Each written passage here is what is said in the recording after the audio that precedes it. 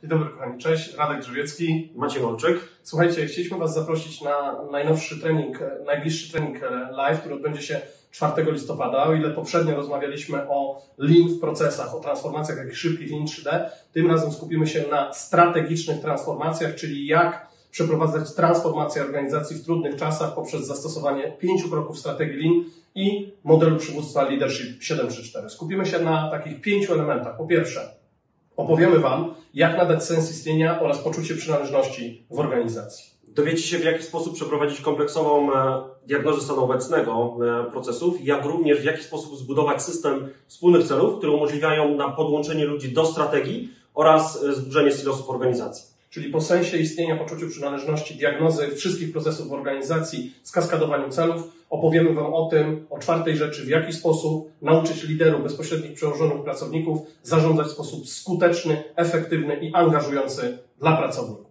oraz dowiecie się, w jaki sposób zbudować system rozwiązywania problemów, który zaangażuje wszystkich pracowników w eksperymentowanie. Dokładnie. Pięć rzeczy, na których się skupimy. Bonusem pokażemy Wam, jak zbudować Lean Transformation Roadmap, czyli taki plan transformacji strategicznej firmy, najczęściej dwu, trzyletni, w którym zobaczycie, jak się pracuje na warunkach docelowych i zobaczycie, jak zwiększyć, e, poprawić wzrost, zaangażowanie, produktywność i zdolność do adaptacji. Zapraszamy 4 listopada. Radek Grzewiecki. Macie Mączyk. Zapraszamy. Do zobaczenia. Cześć.